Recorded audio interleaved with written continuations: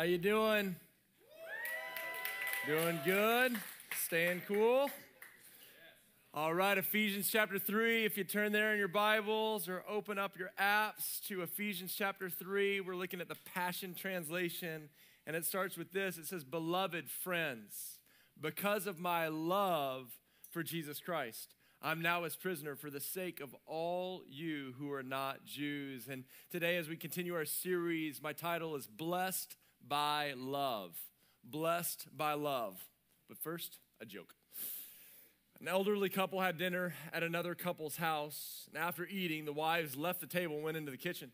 The two gentlemen were talking, and one said to the other, Man, last night we went to a new restaurant that we just loved. And the other guy says, Oh, you don't say. Well, what's the name of the restaurant? And the older man goes, Um, uh, uh, scratches his head. He goes, Okay, what's the name of that flower you give to someone you love? You know, the one that's red and has thorns? The other guy says, Oh, you mean a rose? He goes, Yeah, that's it.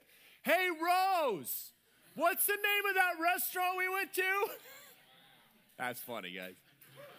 You get it? You... All right.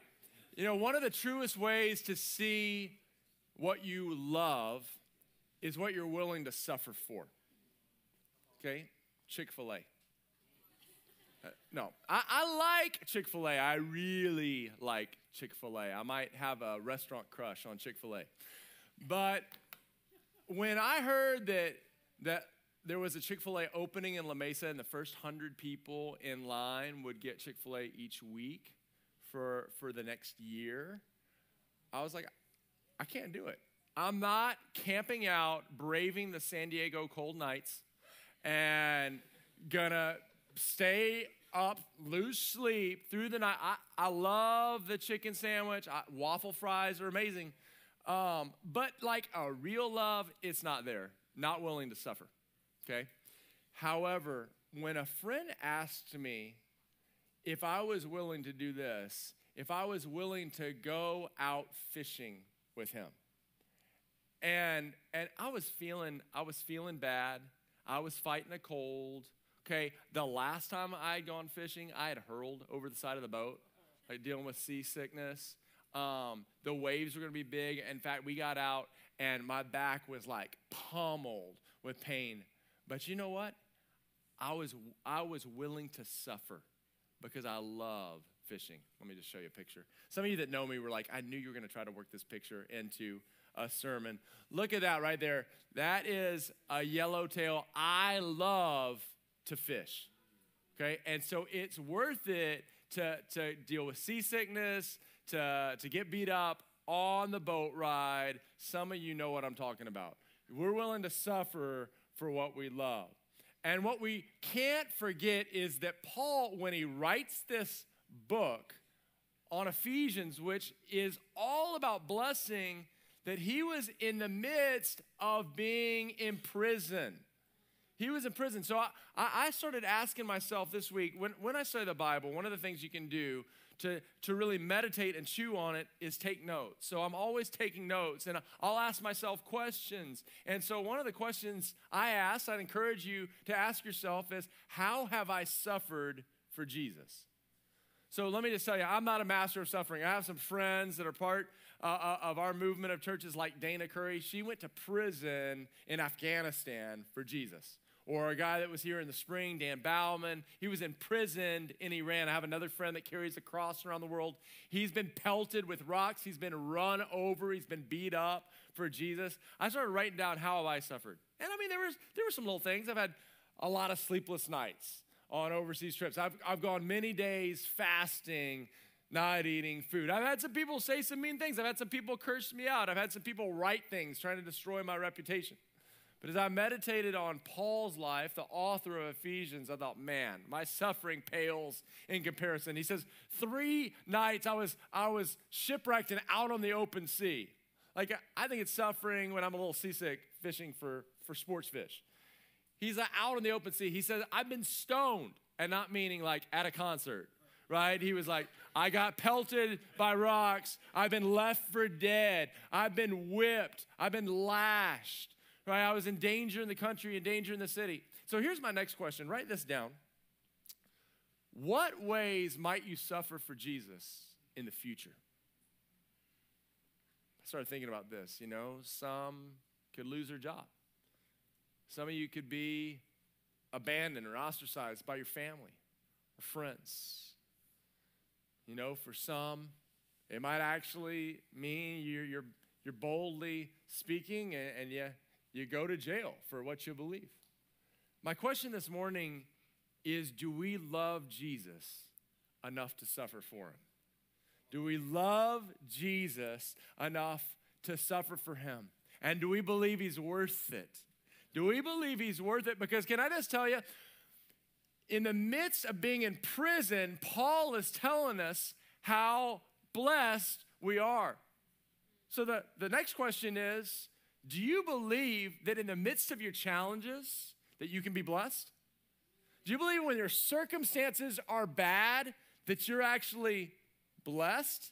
Because what I don't want you to, to do is get the wrong idea about this series that Jesus is just like a, a pill that you swallow and it takes all the pain out of life. Right? Sometimes you, you, you, hear sermons and you feel like Jesus is kind of like an exaggerated version of a genie in a lamp.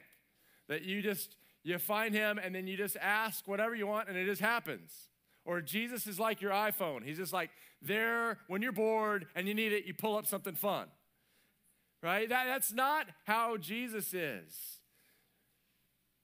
But Jesus has a deeper blessing for each of us. And that's what this chapter is all about. Verse 2 so that you will hear the gospel that God entrusted to me to share with you.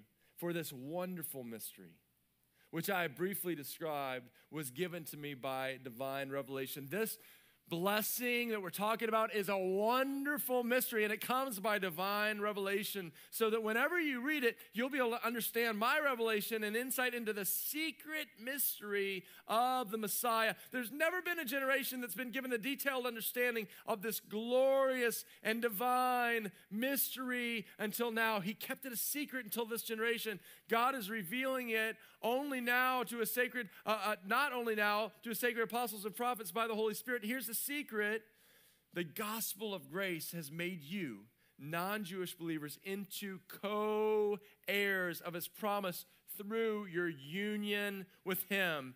And you have now become members of his body, one with the anointed one. For the last two weeks, we unpacked what Paul called the gospel of grace this reality that although we're sinners, that we all fall short of the glory of God and we deserve to pay for our sin, that Jesus took our place. He died on the cross, taking our sins in his body on the cross, so that that punishment for sin could be done away with once and for all in him. Then he rose from the dead, defeating the power of sin and death. And so the gospel's good news that sinners don't have to pay for their sin, that instead of going to hell and suffering forever, we go to heaven, paradise, and live with God. But can I tell you, that's not the end of the gospel. So many times we stop there, but here in Ephesians chapter 3 is the next part. I want you to highlight this phrase that says we have union with Him. Like God didn't just do a transaction to save you from your sin. He actually wants to, here's the next phrase, be one with the anointed one. He wants you to actually be one with him. Like the living God, the King of the universe, wants you to actually be one with him. Paul explains it in another book, Colossians 1. He says it's Christ in you, the hope of glory. That's what sets this faith apart from all other religions is that you actually become one with the living God. Okay, so it makes me think of superheroes. You know, for years, back in my day, we had like four major superheroes that we focused on, right? Superman, Batman, Spider Man, and Wonder Woman, right? They had their own shows, you know, and you were so excited when they came out with their own movies. Have you noticed that now there's like a superhero a month.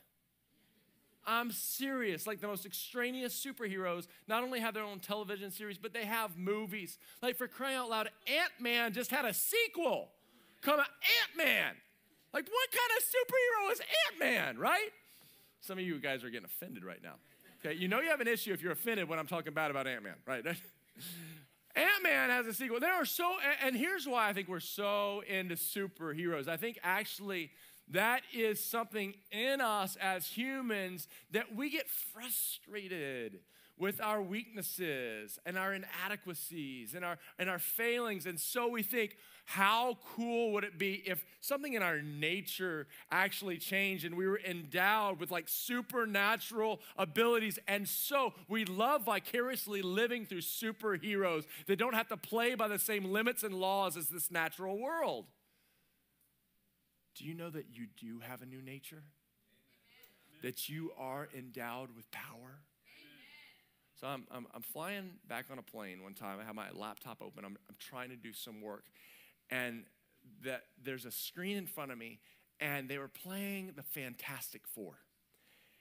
And I can't get any work done because I am just sucked into the story of these four normal scientists Actually, I don't know if scientists are normal, but I'm, if you're a scientist, I love you. You're just so beyond me. So, these four normal scientists who go through a cosmic cloud and their nature changes. And so, where all of a sudden this normal guy can just turn into fire and fly around, or this, this normal person could just go and, and reach and just stretch their arm. These crazy supernatural abilities. And I'm thinking, that's so cool. And then I realize, do you know, wait a second, this is my reality. Do you know that your nature changed? When you were saved, Jesus came into your life through the Holy Spirit and, and try this one on for size. The Bible says you have the mind of Christ. Now, I don't know about you, but I know how frustrating my mind could be. Like the average person has 12 to 60,000 12 to 60,000 thoughts a day. That's a lot of thoughts. But you know researchers say that for many people 80% of your thoughts are negative? And let me just attest to that. From my counseling for a couple of decades with scores of people, I would say I find that true. That so many of us all day long are just having these negative nagging, you're not good enough, you always fail, your life stinks, you'll never amount to anything, no one likes you, you don't fit in, you're not pretty enough, you're not handsome enough, you're not strong enough, you're not smart enough. We just have these thoughts, and, and oftentimes much worse. And then we have these greedy and judgmental and jealous and lustful thoughts, and you're like, oh, my mind is driving me crazy. Can I just tell you that you have the mind of Christ? And, and, and, when I started walking in union with Him, He started changing my thoughts. To now, I often, instead of just having a negative, nagging thought, I'll be walking around and just start having positive thoughts and encouraging thoughts. Do you know why? It's because God is love. And so He's constantly pouring out His love, His encouragement, His kindness into my mind. Can I tell you that your whole mind can change as you walk in union with Him? You have a new nature. You don't have to live in mental torment all the time anymore because you have the mind of Christ. And that's just one aspect of your new nature. Moving on, verse 14. So I kneel humbly in awe before the Father of our Lord Jesus, the Messiah, the perfect Father of every father and child in heaven and on earth. And I pray that He would unveil within you the unlimited riches of His glory and favor until supernatural strength floods your inmost being with His divine might and explosive power. Wow. Okay. We've got to get this that Paul continues this revelation that God is a father. It's another way that, that this relationship is so different than the world religions because all religions are man trying to get to this transcendent deity. But Paul is saying, no, what you have is a relationship with a father. And can I just tell you the, the demarcation of a father, the delineation, the delineating factor of a father compared to like a coach or a boss or an instructor or, or teacher, although a father can play all those roles, the thing that sets him apart, which is different, is a father just loves. Let me explain it this way. When my kids were born, I was there in the room. And they, it's not, if you haven't had kids, it's not like a, a little Charmin toilet paper commercial with this little fluffy baby that's all clean and and plump. No, like babies come out of the womb and they're slimy and they have cone heads and they're and, and and so it's not like gorgeous baby, but can I just tell you when they put that baby in my hands, I didn't have to go like, come on, work it up. Like, stir it up, heart. Come on. You gotta love this kid. No, the second they put the baby in my hands, I'm like, oh, I love you. That baby had done nothing. It was just crying, it was dirty, one of my babies just started peeing, but I'm like, I love you. In the heart of a father is just love. Now, I know that some of you didn't experience that, and I'm so sorry for that, but can I just tell you that you do have a father that just looks at you the second you wake up and he's like, I love you. I'm crazy about you and all your slimy cone headedness. I love you. That's what Paul is saying. We're blessed by his love. He is a father. That's the primary revelation of God. He's not sitting back all the time just looking at you as a judge. Yeah, that's one of his roles, but his main role is father. Over and over again, he is father. That's why Paul says, I pray that he would unveil this to you. I pray that you'd have this unveiled. It's like we can live life with a, a bag overhead, like a veil over us. And that's why Paul keeps saying, I, am asking for this to be unveiled. And in chapter one, he says, I pray that the eyes of your heart would be open. I'm praying for a spirit of wisdom and revelation. Can I just tell you, one of the greatest prayers to pray over yourself is God, unveil my eyes and my heart. God, give me a spirit of wisdom revelation. Open up my heart so I can see. You ask God for the gift of God to see his love, to experience his love. Parents, pray that over your kids. They need that more than any earthly success. They need a revelation of God's love for them because then they'll live out of love instead of live trying to gain love. Wait, did you hear that? That was good. You need to live out of the place of love instead of always trying to gain love. That's God's heart for you. That's His desire for you. That's what I pray for you. That's what I pray for me. God, I want a greater revelation of your love. Now, look, what is our part? Here it is, verse 17. Look at verse 17. Then, by constantly using your faith, the life of Christ will be released deep inside of you, and the resting place of his love will become the very source and root of your life. So here's an equation that I want you to get down. Here's the equation.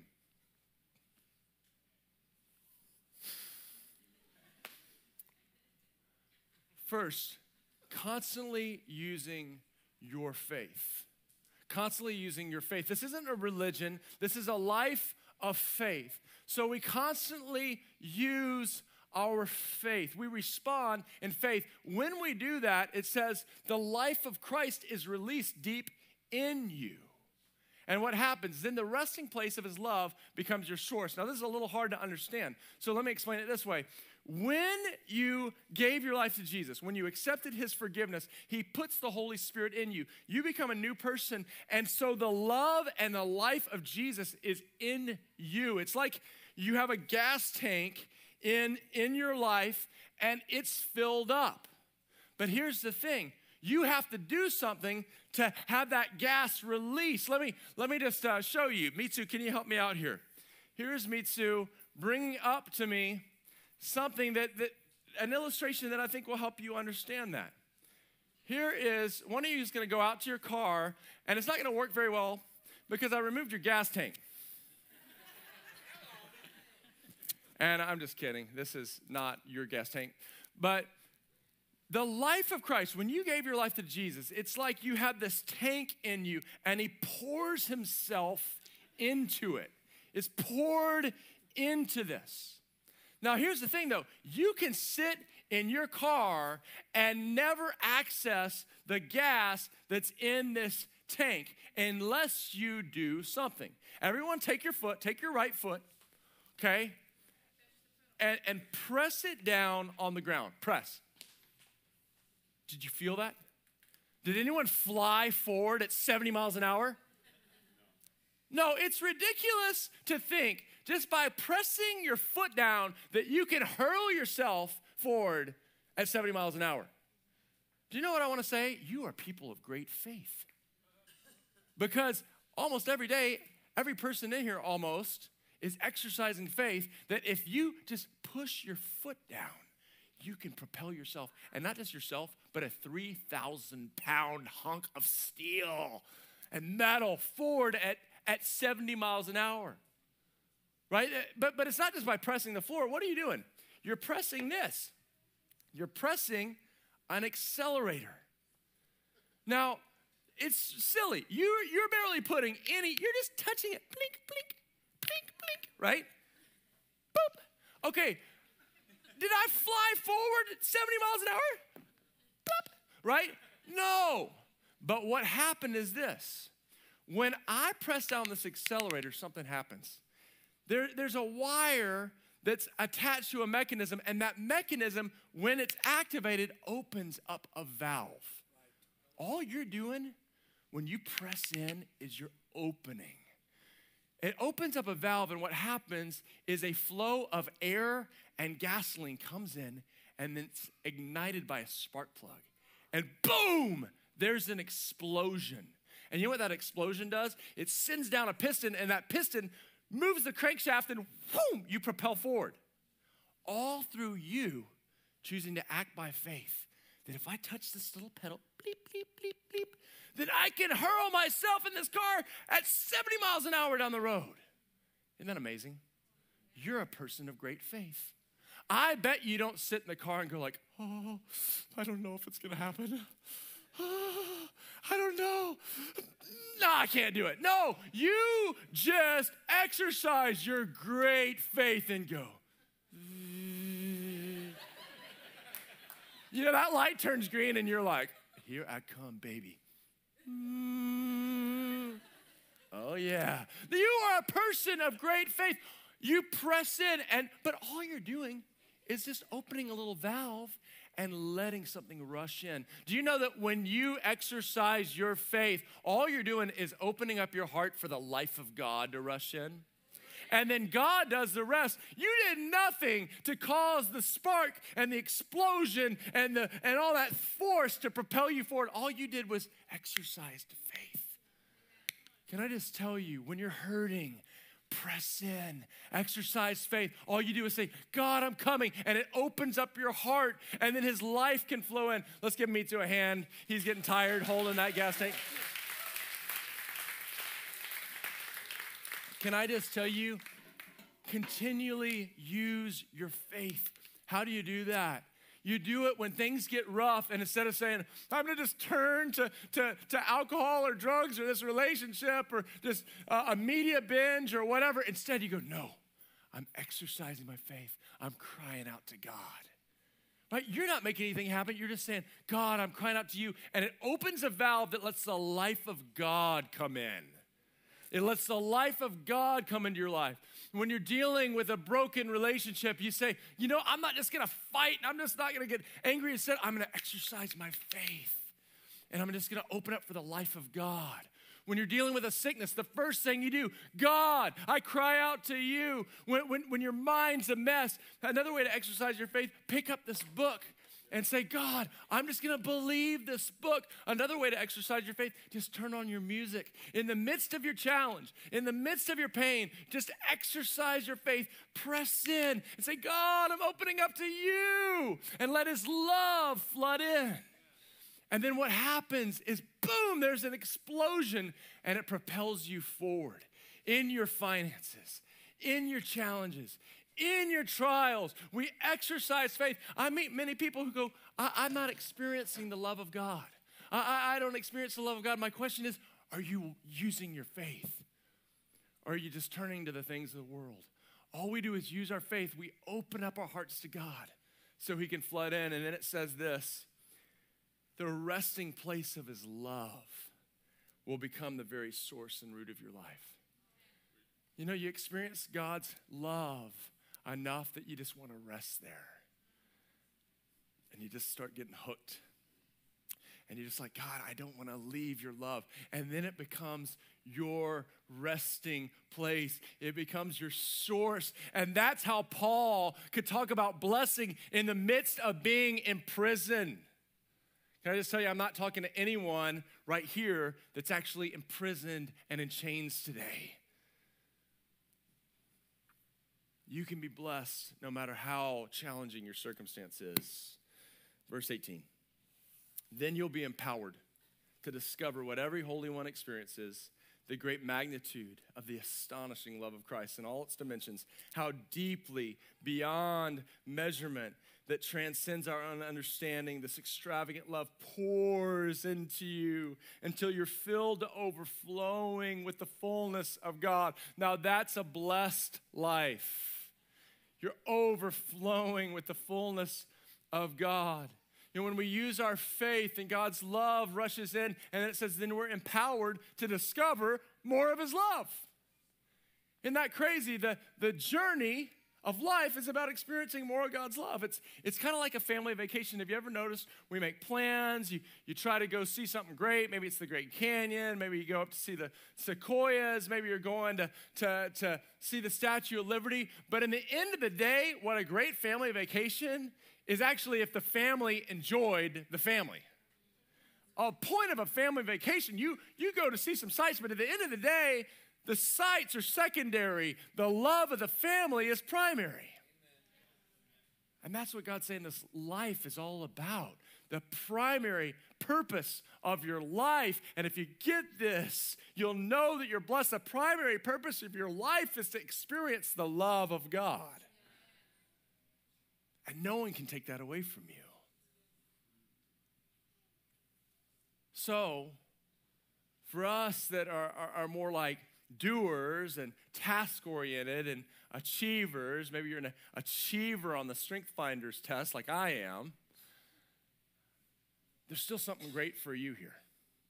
Because you're thinking, like, Robert, this is all sappy, love, love, love. You keep talking about love. And like, I don't just watch the Hallmark channel, you know. I, want to watch the World Cup and action and do something and build HGTV, build something, right? And you, you're, you, let me just tell you, there's something here for you.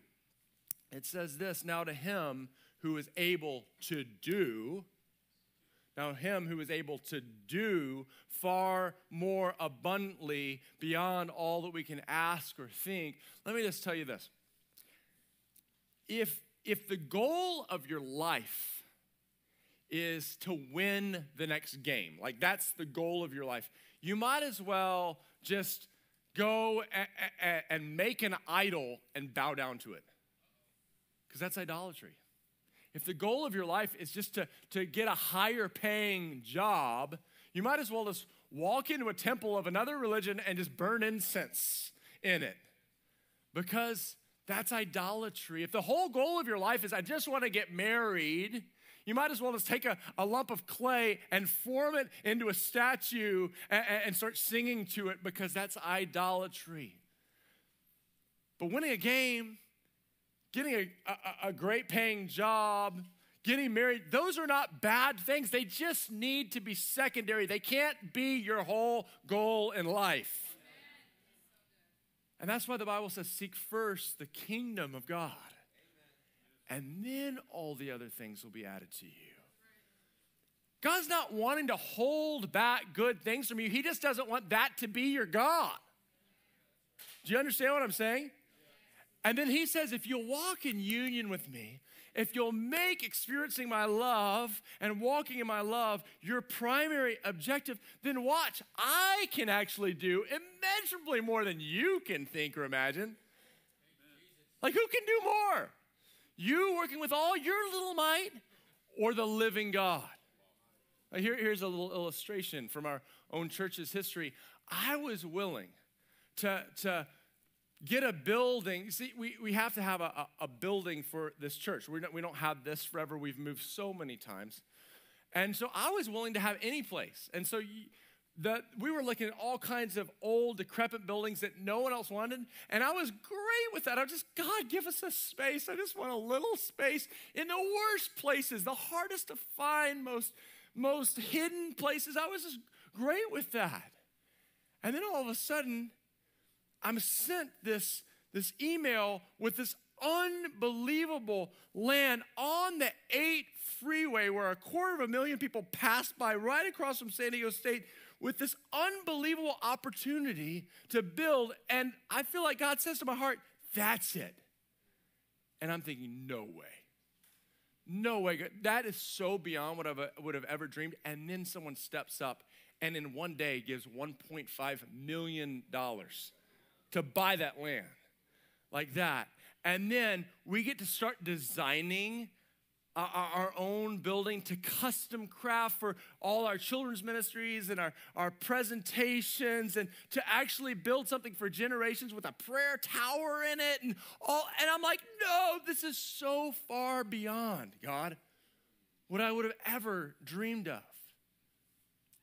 Kendall and I had the opportunity a couple weeks ago to meet with Cindy Jacobs, and she's one of the most known prophetic ministers, maybe in the world right now. So we had this hour, just us with her. She starts talking about all these things that have happened in the past of our church, like the inner workings. She had no idea besides God is speaking it to her, and then all the things that would happen in the future. So we're just in awe. And then she goes, You know, you guys have dreamed big. I'm thinking, Yeah, she goes, You know, you thought some of those dreams wouldn't come to fruition, but God is saying your dreams are too small. She says, You know why? It's because God is the God who does immeasurably more. He is the God who does immeasurably more than we can ask or imagine. Do you know why? Because when God does what only He can do, He gets all the glory for doing it because no one can take credit. It says this Now, to him who's able to do far more abundantly beyond all that we can ask or imagine, to him be glory in the church and in Christ Jesus throughout all generations, forever and ever. Amen. If you will focus your life on loving God and walking in union with him, and receiving His great love for you and consistently using your faith through the challenges and trials and circumstances of life and to say, God, really the journey is about walking in love with you, not accomplishing something. God says that I will do immeasurably more than you could ask or imagine. And when I do it in your little life, I'm going to be glorified through it. Because people are going to look at your life and say, You could have never done that. And you're going to say, You're darn right, I couldn't have, but I've got a good God. Let's stand up.